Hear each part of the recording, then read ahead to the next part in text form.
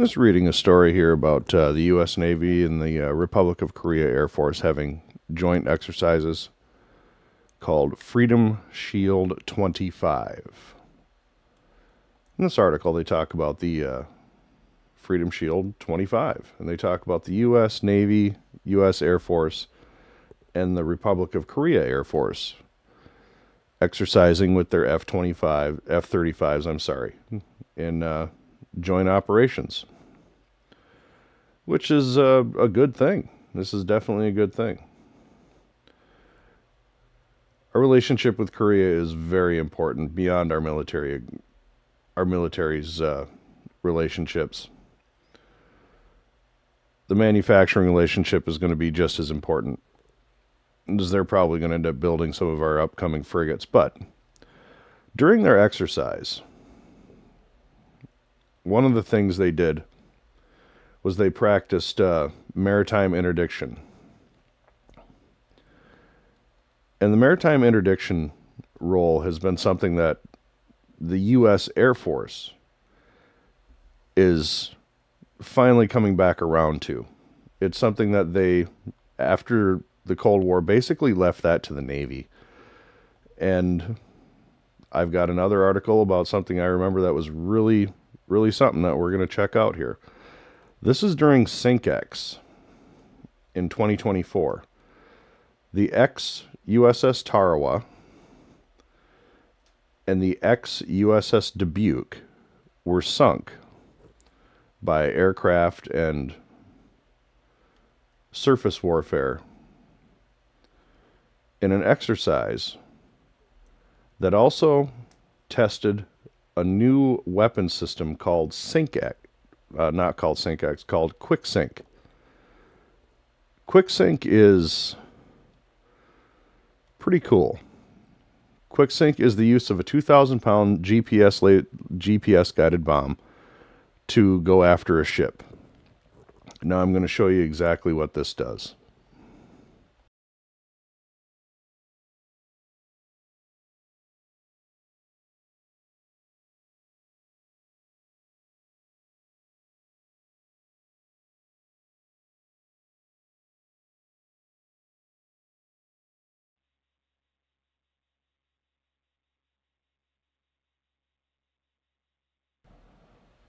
And in just seconds.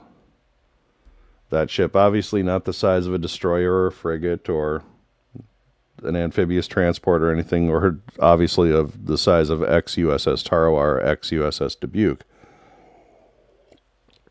But you can see how quickly that just gets done away with. We'll go to a different angle here. This is the same test bombing, different angle.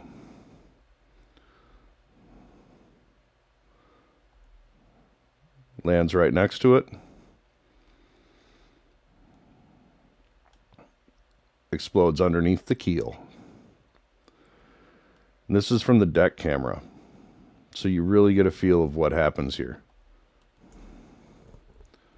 Going back, you can see the impact point is right next to the ship. Goes underneath the ship where it detonates. And the entire ship. Breaks in half. Her back is broken, and that's it. And this is what your final view would be going down. That's kind of creepy. And this is what was left of the uh, test vessel using a sonar. As you can see, she's been absolutely destroyed, flipped side by side with one another. Her back has been completely destroyed. Her upper, it's just a mangled mess. But that's one of the systems that the U.S. has been testing for maritime interdiction. And when you have exercises like you have with uh, the Republic of Korea and the U.S. Air Force,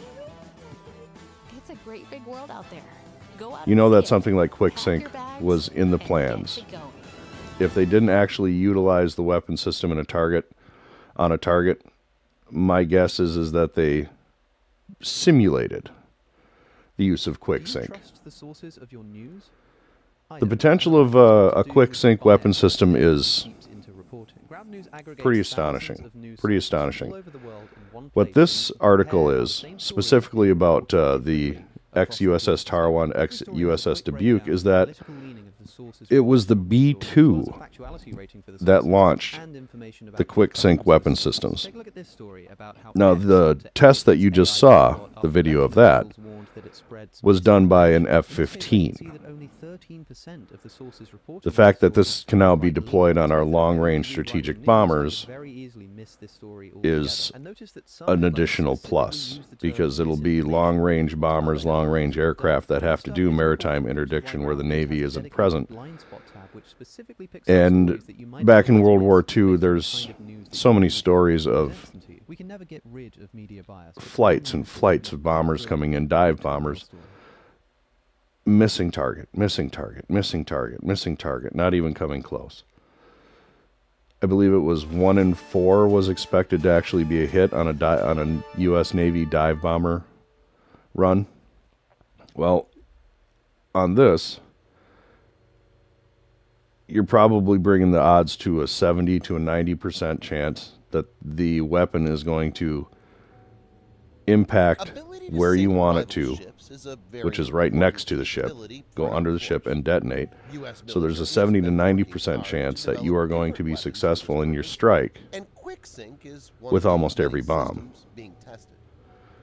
So between that provide a low and, cost uh, and obviously Our adversaries are going to do something very similar and create something very similar for use against us. Joint Direct Attack But or Cheap, effective, Quicksink has, for the first time, Get rid of, uh, full-scale surface vessel in the large ships, small ships. You saw what it did to the small ship. And that ship is uh, gone. of the latest It is just gone. Joint Capability Technology Demonstration, And or JCTD, an adversary in the Southwest Pacific is going to have a lot of vessels this size. concept into And the fact that in under 60 video, seconds, Updates it literally how the disappears from the surface. to sink enemy ships with Quicksink. this is going to be a Let's get into huge, a huge gain for sponsored by us.